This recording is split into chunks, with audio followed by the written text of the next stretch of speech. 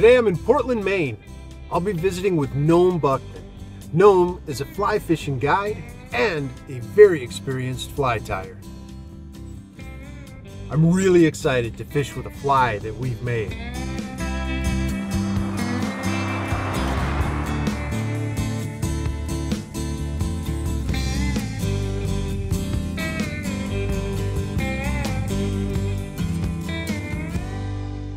Tell me about the first time you went fly fishing. My neighbor across the street, um, whom was a retired Episcopal priest, um, he had been fly fishing ever since he was 10 years old and he was in the 70s. And um, I decided I wanted to try it and he could give me a lesson. So he did. He gave me a casting lesson and I had to go off and do some work for the rest of the day. And as soon as I got back, I was uh, at the pond that was there across the street and was casting away and uh, decided I liked it enough that I'd take it to the river and went to the river and proceeded to make a very frustrating evening. Yeah. no success. no. No, it took a week before I could actually connect with the fish. but you liked it enough to stick with it. Absolutely. Um, getting the casting down wasn't the hardest part. It was managing line on moving water. What did you like about it?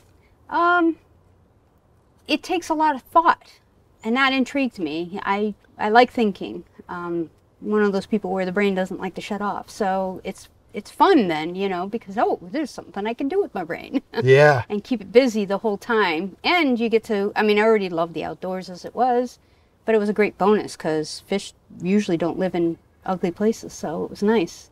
Yeah, that's know? true. You can get to the nice little secret spots and feel like you're alone in the world if you need to, or you can be social. You get the choice. Very true. So when you were learning how to fly fish, what were you doing for a living? I was a, a horticulturalist uh, running a landscape firm. A landscaper. Mm-hmm. Really? And how long did you do that? 20 something years? Yeah. 23, 24 years? Yeah. But so you enjoyed being outside Oh, yeah. And the creativity aspect of it? Anything naturey. I'm very big on learning from the land and from nature. So looking at plants on a landscape can tell me what pH the soil is, as well as all kinds of things, just by what grows. Oh, And you oh. can also tell what kind of porosity the soil has by what particular plant, plants are thriving. They're giving you information all the time. Fishing Yeah. is very similar to that aspect. You can look at water, see what plants are growing around it, and it can tell you about pH. It can tell you about a lot of things. Fly fishing is a very natural transition of, you know, detailed content on what each species needs to tick, what makes them happy, what makes them comfortable, um, what makes them safe, what makes them want to eat or not eat, you know, all those little things. Like you got to learn about them all yeah. to really feel like you know enough to, to go after and try to attempt to fool them, which is what we're doing, you know. Right, right. Yeah. Yeah, that's a great way to put it. Fool them. hmm Right? At what point did you decide you were going to become a guide? I think when I started to feel very comfortable on regularly finding and catching fish. Okay.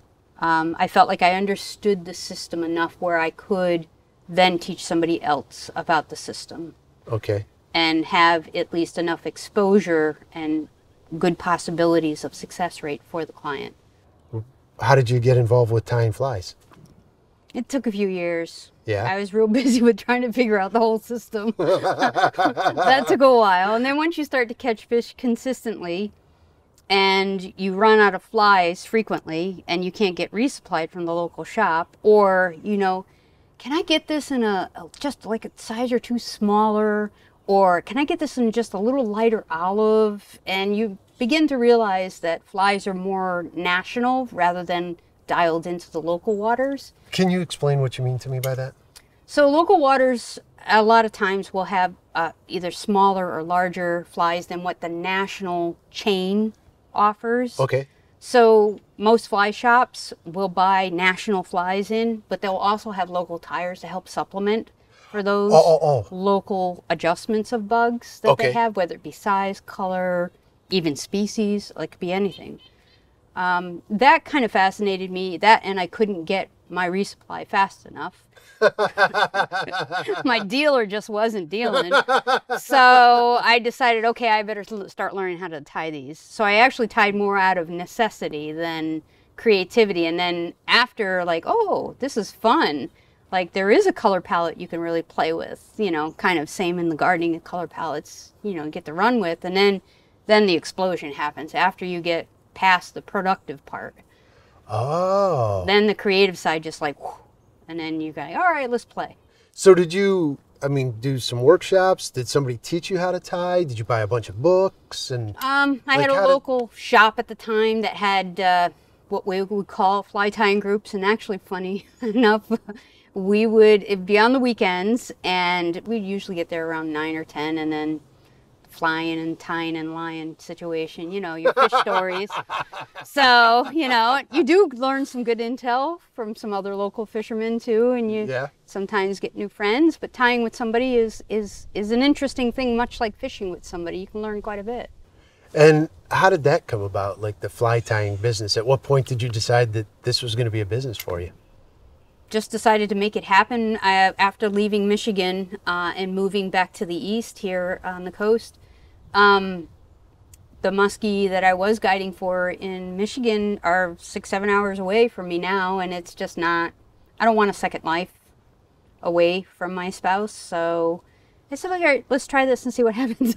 Yeah. That's all you can do, right? You know, I could fall back on horticulture if I have to, but uh, this is fine and it's working at the moment. sure. Sure. So I'll stick with it.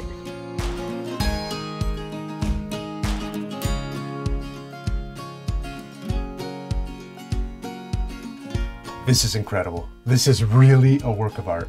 Thank you. And what, what is it called? It's called El Capitan. El Capitan. I like that. And what would you fish for with this? Uh, we're tying intentionally today. We're going to be tying for stripers, but this is actually a all-around classic bait fish pattern. It's a, just a white with an olive back bait fish. So how do we start? Like we've got a lot of materials in this. We do. We have a couple of different materials in this, um, but all flies, they you start from the very back of the hook and then work your way and finish in the front. So the, usually the longest or the last uh, applied material is how we start. So we're gonna, we're going to start with these white feathers right back here. This That's the tail. so exciting because I get to make something and then later fish with fish it. Fish with it, right. That's going to be awesome. So here's our hook. And what kind of hook is this? These are uh, Gamakatsu's B10S, Tennis. Okay. and they have the nickel finish, which is really good for saltwater. And what size is this? Uh, this is a 3 aught, Okay. and we're going to want to make sure my hand is going to mimic the vise for a second. We're going to make sure we want the vise to pinch it like so, and that the shank is straight. So the shank should always be level. Yeah, Okay. dead level. Level like Yeah, this. as level as possible would be ideal. All right. So we're gonna grab our thread. Uh, there's two size threads here. We're gonna grab th- the yeah that one there is a thicker thread. We're gonna start with that, and we're gonna finish with the thinner thread. And what's this device called? Uh, bobbin. This is a bobbin. Mm-hmm. Okay. The secret with the bobbin is that what we're going to be doing is um, on either side of the brass knobs that hold it. This is where we're gonna palm to apply pressure Ah, to not let the thread out, and then we're gonna ease up on it so that we can allow line to come out. ah, okay. I got it. I got it. Yep. Yep. Just a little bit of squeeze motion there. Yep. Yep. And then you can squeeze it to stop it. Yep. Okay. There's no knots until the very end. Okay. So it's all about tension and lashing down Okay. and maintaining tension. So we're going to do what's called tagging on. So Should I bring this back? the yep, you want to roll it right up. So we're going to tag on roughly about the middle of the shank. Okay. So you want the tag to the left. And you're going to be behind the hook. Okay. and then you're going to start rotating up and over two two wraps forward or three whichever you prefer Okay. now i want you to back wrap which is tilting the line the opposite way and come all the way back and on top of what's called the tag that you've left behind so once you backtrack onto the tag enough you can do this and it won't go anywhere now you're you're tagged on it's official Look at now that. we can grab our scissors. You don't want to cut, you just want to rake. with it. Okay. So hold it and rake. All this is going to be hidden, so we're not going to see. Okay. And then I tend to do a few more wraps back to secure. Now we're going to move to the middle. We're going to go forward to the middle of the hook. Forward. Excellent. Perfect. Like this? Yep, you're doing a great job. So now we're going to pull out, these are um, Chinese strung hen feathers. Oh boy. Those are in there. Yeah, sometimes they are. Let's do it this way. We're going to pick Oh, two. there you go. What we're going to do is we're going to lay them so there's a convex and concave side. You want to make sure they're matched however you want. The tips, the very tips, we want to measure out exactly the same. So once those tips are measured out, Okay. then we're going to come back and if there's anything uneven, we're going to trim that and clean it up. I'm going to take about quarter of an inch off. So now what we're going to do is in the example fly, you can see there's two ways to do feathers. You can do prayer style Uh-huh. or you could do reverse prayer, which Ah. are what these are. Those are and now reverse. it's kind of like the parachute that comes out of the race car at the end. So they're going to squeeze down when the tension of stripping it in, and then they're going to pop out and then cause the fly to oh. stall Oh, right. and right. turn. Oh, okay, okay, okay, okay. Cool. So now we're going to do reverse prayer. So just take it and Yep. Match them up. Now you always have the reverse prayer. Yep. Perfect. So now this is just going to, the pair of them are going to just sit on top of the hook right over where your thread is. So just do several good wraps and we want some good tension on there. And then if there's any part of the stem still there, I just go ahead and lash the rest of that down. just lash Just, it over. yep, clean it up, keep them still. They're all going to stay nice and tight now. All right, we're going to do bucktail, and I've got your, you've got your own tail, and I'm going to do my tail because I'm going to show you how to cut. So bucktail itself, there's three different kinds of materials. The bottom third is full of air. The middle third has a little bit of air. The very tip has no air in it whatsoever. And what I mean you are mean the hollow tubes. You can even see it when you look at the detail of the hair closest to the bottom it has. So this is the insulation to protect the deer. Oh, okay. So it has more insulation, and the further away the tail goes and dangles, right? So you don't need the insulation, so they don't grow those kinds of hairs. Poor deer. we want the bottom third to the second third, somewhere in that zone. We want some air. Right in here. Yep. Okay. I had absolutely no idea that different sections of hair within a bucktail would react differently in the water. Understanding that using different sections is going to make it react differently, you almost have to isolate the materials. Like, oh, look at this stuff floats differently than this stuff does. And now that I think about it, that knowledge in and of itself just seems really, really old. So we're going to take the material. Mhm. We're actually going to reverse tie. So we're going to spin it in our hands. And don't worry if the stack gets a little unruly.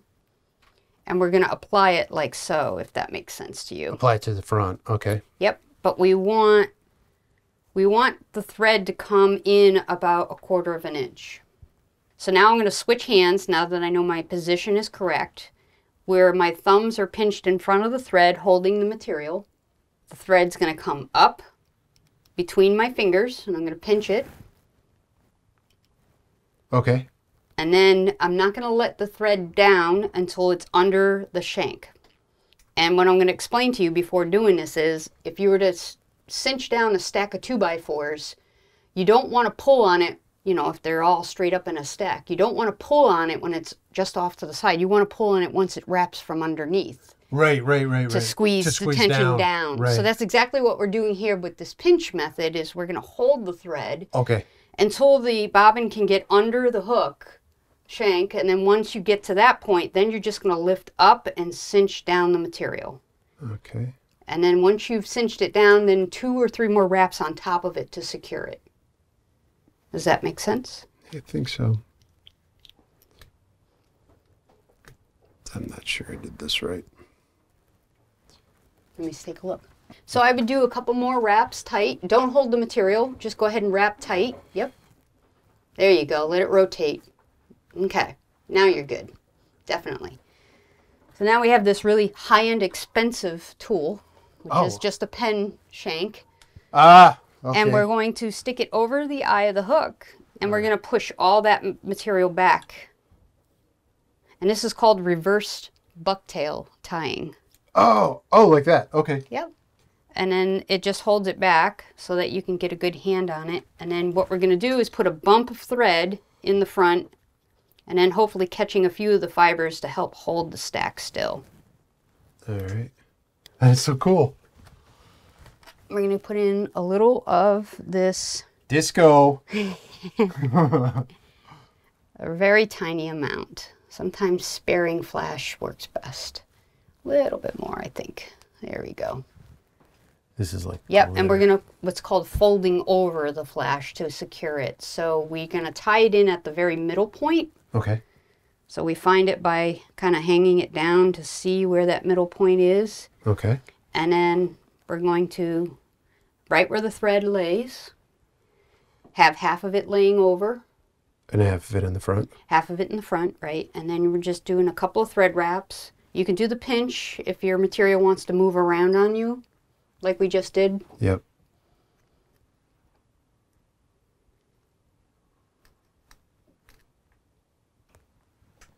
Okay.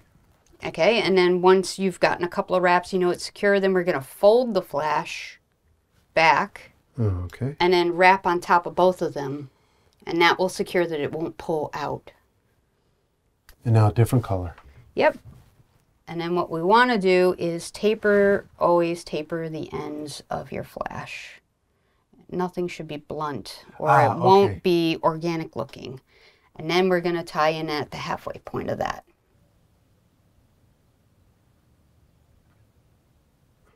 Yep. So half in and then fold the other half. And you'll notice this is a bit wider um, and it's shorter, so it's only going to stay in front of the bucktail because of the shorter length. Oh, look how cool that looks. Man, that looks really cool. Starting to come to life. yeah, it is. All right. Now we have this other ingredient. What's this? This is new secret stuff. Uh oh. Proprietary? It is Okay. Custom blended. And And this it, is my it's surprising. It's very little material that's used. right, and know? it's more the depth. You want to create depth. So, Okay. and then of course it's all about color as well. And that's your half of my Okay. new shimmer. This is pretty. It's a shimmery gloss. So this is going to give it that olive back, which is great color for classic baitfish pattern. Oh, I see. I see. Right. So it's it's now what what what we're doing is we've made it really fancy and bright and shiny. Now we're going to dull it a little with some natural color that has a natural shimmer to it. So again, halfway point, Okay. and then this is going to then add the super depth of color to that flash. And then we're going to spread out the first batch before folding. Okay. Good. And then we're going to fold back. Spread the back out. Yeah, so I spread the back one out evenly because this is more of an overall color we're trying to achieve with it. Okay. Just over the top half of the fly. Yep. And then fold it over and tie in. And then I typically use a uh, pet brush to give it a little blending to trying to get the flash to come together with that new shimmer product. And just like. Yeah, so you can see there's purple highlights then in the back of the Oh yeah. olive, which is very classic baitfish colorations. Man, that looks awesome. But it's great with the stripers, they like that. All right, now we're gonna have the wing. So we've got the tail, the middle of the body, we're gonna put a wing on. Then we're gonna put uh, a white base over and then eyes at the end. Huh. Cool. So if there's any What, mislength, what kind so we're gonna. So this is rooster. Rooster. This is a uh, grizzly.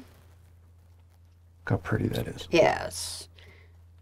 It adds that little bit of punch. So much like what we did with the tail feathers to measure them out to make sure that they were both identical, we matched the tips up Once the tips are matched, then we go back to the stems. If they're off in measurement, that's where you clip them to uh, level them up so that they're both identical. Okay. Now, as you can see with the example fly, we want, so there's a color side and then there's a dull side. We want to make sure the color side stands out. Oh, okay. So on each side, we're going to apply these one by one. So the, there's a flat stem in this feather, and it's best if it runs parallel with the shank, Okay. and it won't twist as much, if that makes sense. Yep. So we're going to tie it in parallel with the shank. And you want to tie in about a little more than a than a quarter inch.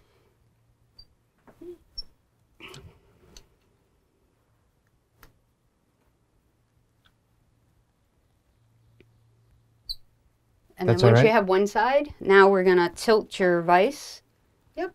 So now you're gonna tie on that side, which you're looking at the fly upside down. But it's very handy for applying wings and eyes. So lash her down pretty good. Okay. There you go. I think I got it. Yep. Yep. That look all right? Yep. Okay. So to loosen them up, because yours are a little tight, you can see it's compressing. Uh-huh. What you're going to take is you're going to hold the stem area and just pull it up, and it'll allow it to stay out without breaking that stem. There you go. That's it. Then it'll come out a little bit and fluff out a little more, more of a V shape. All right, so we're going to do our last bit of bucktail. We're Oh, bucktail. draw from the same place like we did before. Okay. We want roughly the same quantity. So we're going to pull it over the center to make sure it's all even and then trim.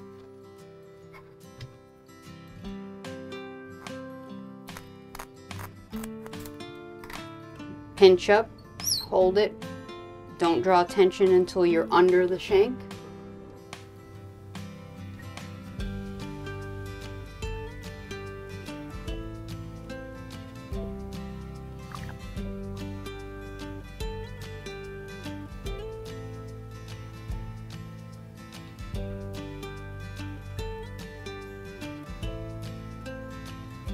So, since it's hair, and we're just going to manage hair with this hair clip, put it around the bobbin, Okay. slide it all the way up and over the eye, Oh, and it'll clean everything out of your way all in one fell swoop. Yep. sweet. That's awesome. Now you can go ahead and uh, clean up and put thread tracks in front of your bucktail. okay. And you don't want to wrap too much, you just want enough to clean up your areas because we have one final material to add.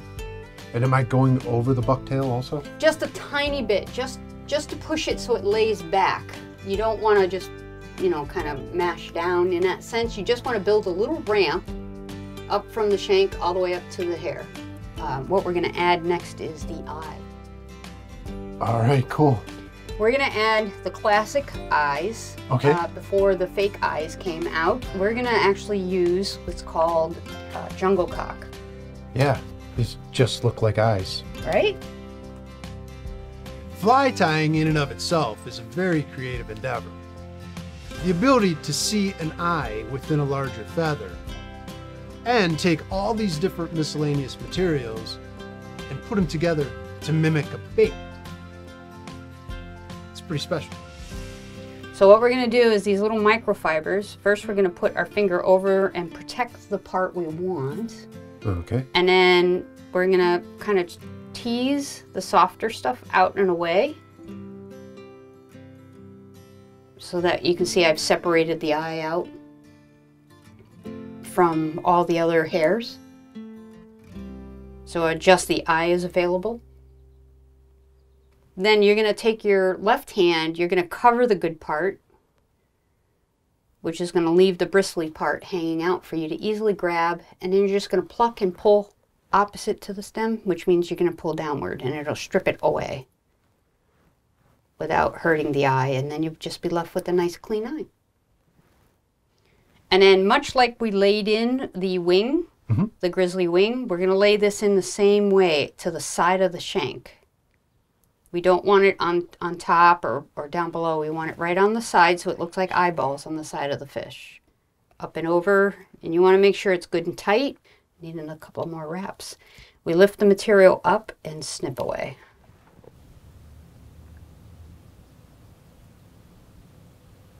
And then we're going to do what's called cleaning the head. So now is the time when any of the little stragglers or extraneous stuff gets pushed. Oops, a little too tight.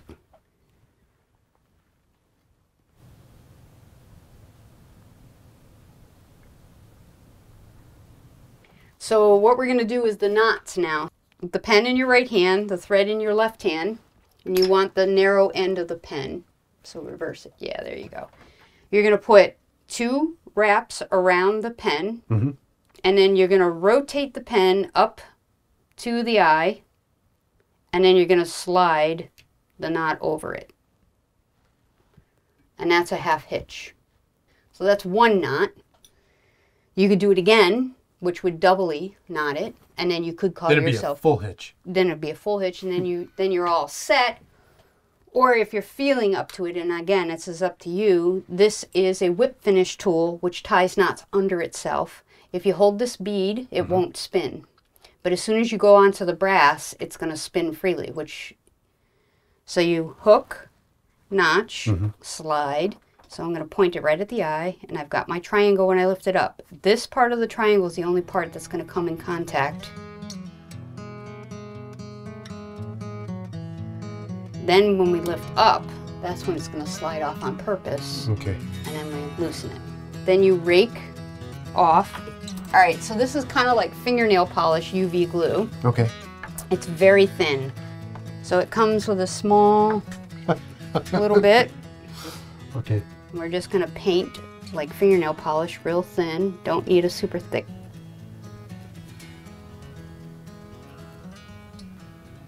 And then you're going to take your UV Hold it on there for a bit. Yep. And there you go. So now the end gets real hot. So you That's a line kinda, cutter, right? Yes.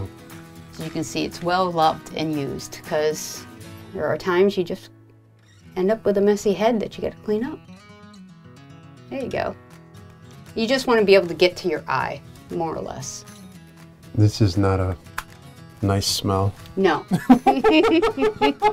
Burning material's never good. It's not.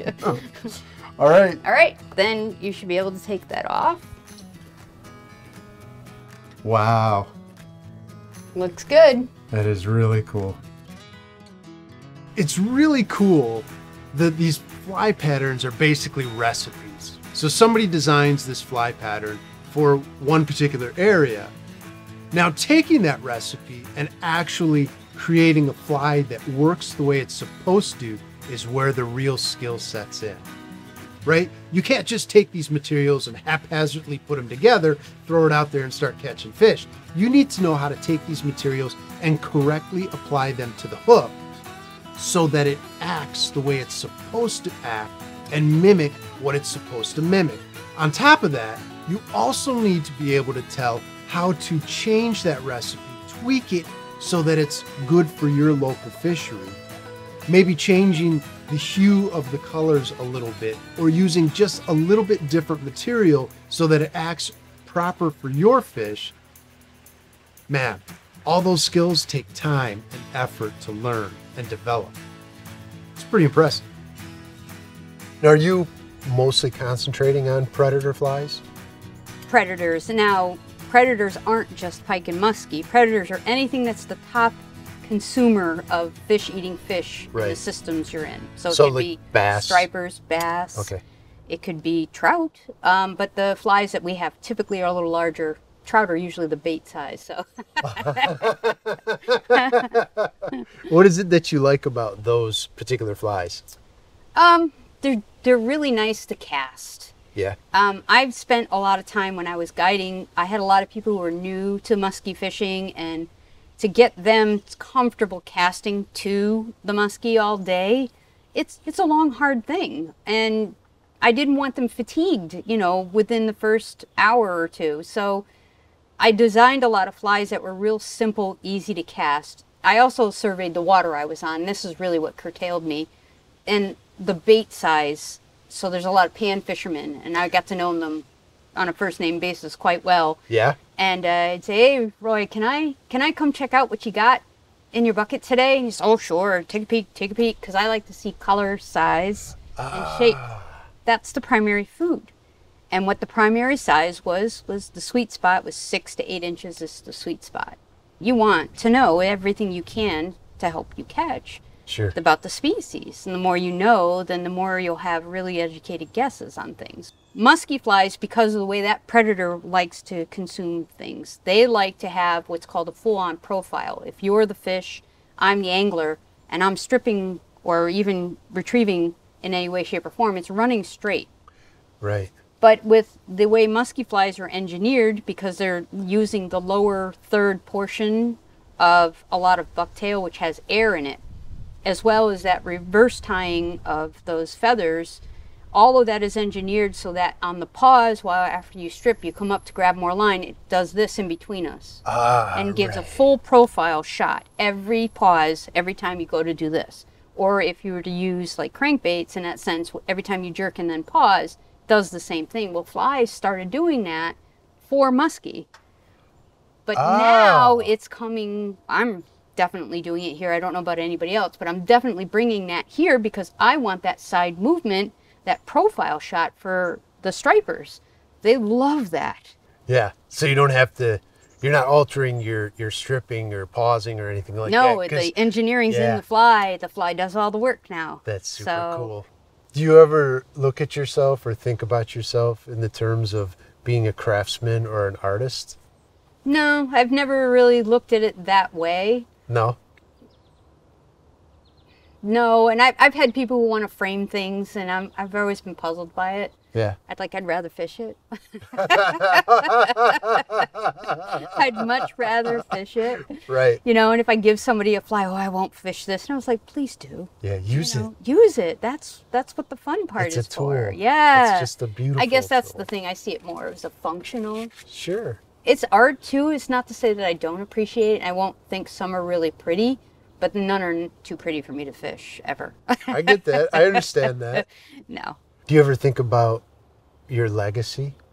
Oh. No. No. I mean, I, I have friends who, you know, are very grateful for the help and assistance, but I don't know. Maybe I've touched enough. I don't know. Well, I think it's because, right, as a guide and as a tyer, a fly tyer, you're you get to impact so many other people's lives. Mm. You know, and and you're helping them form memories, Mm. and maybe you're introducing them to something that is going to impact and change their life the same way that that gentleman changed your life. I mean, Yeah, completely completely, upset your life Yeah. and change the direction of your life just by teaching you how to fly fish. You know, so in that With- regard, like, With that in mind, I'd say, yeah, for the past 11 years, I've been uh, helping out in the driftless area of Wisconsin. There's a uh, women's fly fishing clinic that Oh. happens every year. And we have 20 something students that come completely new, may have never fished before in their life, to camp for the weekend with us and learn intensively about fly fishing for trout.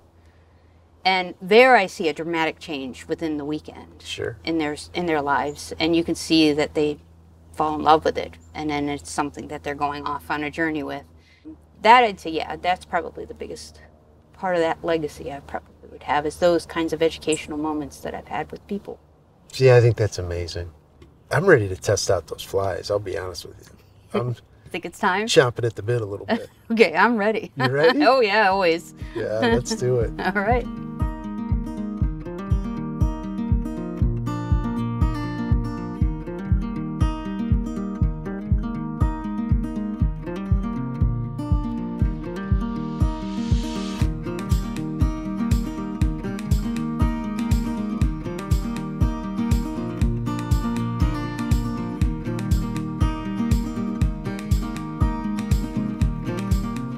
I was so impressed with Nome's observation abilities.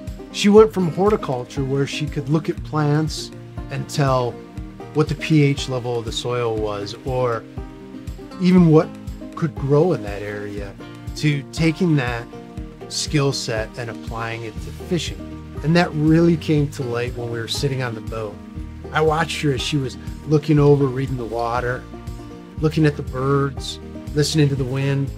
She was paying attention to everything around her in order to study where we should go fishing.